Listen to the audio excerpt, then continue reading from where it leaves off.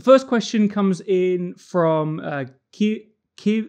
I'm going to be awful at names as well, straight off the bat. That's terrible. Kimi Arash. Kimi Arash. Kimi Arash on Instagram. Terribly sorry if I've pronounced that wrong. Um, have you participated in a design competition like Red Dot or the IF Award? If not, why? Um, and I don't know if that question is for um, me, particularly as an individual designer, or for companies that I've worked for and worked at. Um, so I guess I can kind of answer that in two ways.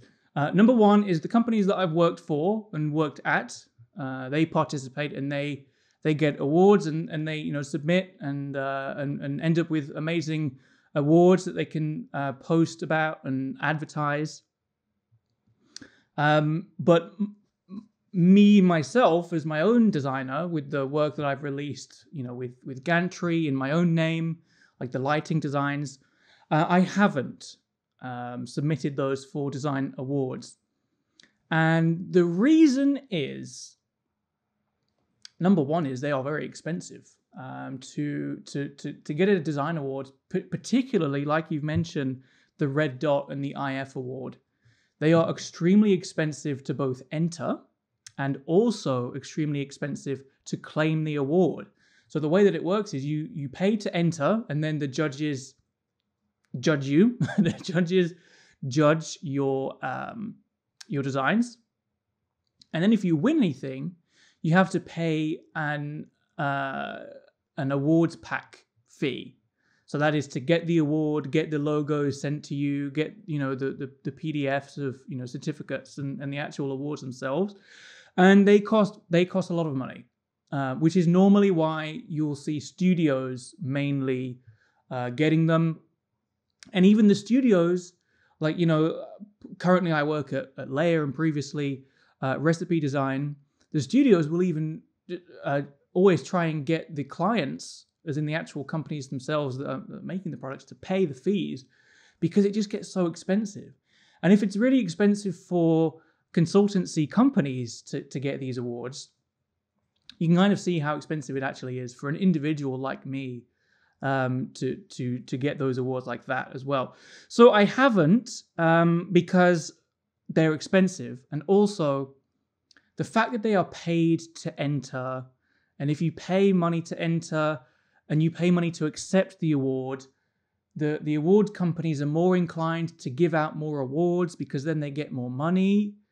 Uh, it's all, it all doesn't sit quite right with me as a pay to win strategy. Um, and uh, since learning about, you know, the, the way that the, the costings work and the way that, you know, you have to even pay more money to accept the prize. And then if you want the trophy, you have to pay even more money still on top of that uh, it, it, takes away the magic of, of, of design awards for me, and and sort of, you know, only the richest designers will win, uh, which doesn't quite sit right with me. So I, you know, I haven't looked into it so much because of that.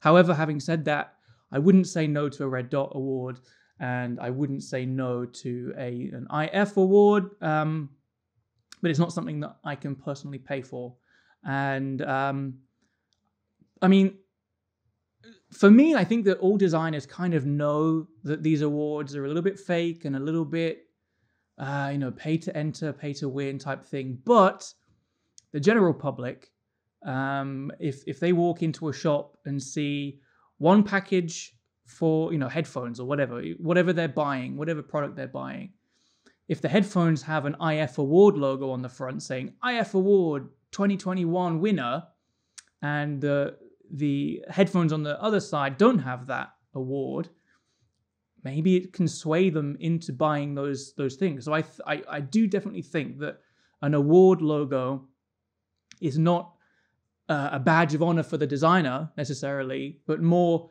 a marketing tool to sell more to the people who don't know that they just essentially bought that logo. Um, so I'm sure it's great to sell more things. Um, uh, especially you know these logos that you you see plastered on the front of products. You know the dot and the IF award are both bright red. You know award 2021, and you can have two or three in a row. You know best award 2017, best award 2018, 2019, and just you know, add up. Um, and I can 100% see why um, customers are going to, to, to gravitate towards that. But it's not necessarily something that I need as a designer to say that my designs are, are good.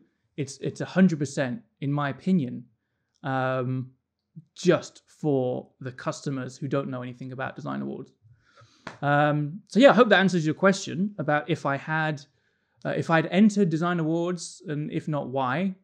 I think that that hopefully sums it up. Um, like I said, if I was offered a Red Dot Award or or an IF award, I'd absolutely take it. But uh, it's not something that I'm really driven to pay hundreds and, and, and thousands of pounds for. Thank you so much for all of your questions. I really enjoyed that live stream, and I will be posting all of the other individual questions to my YouTube channel as well. So don't forget to let me know down in the comments if you learned anything because I love to read about it.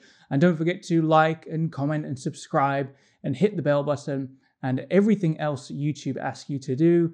And I will see you all in the next video. Bye.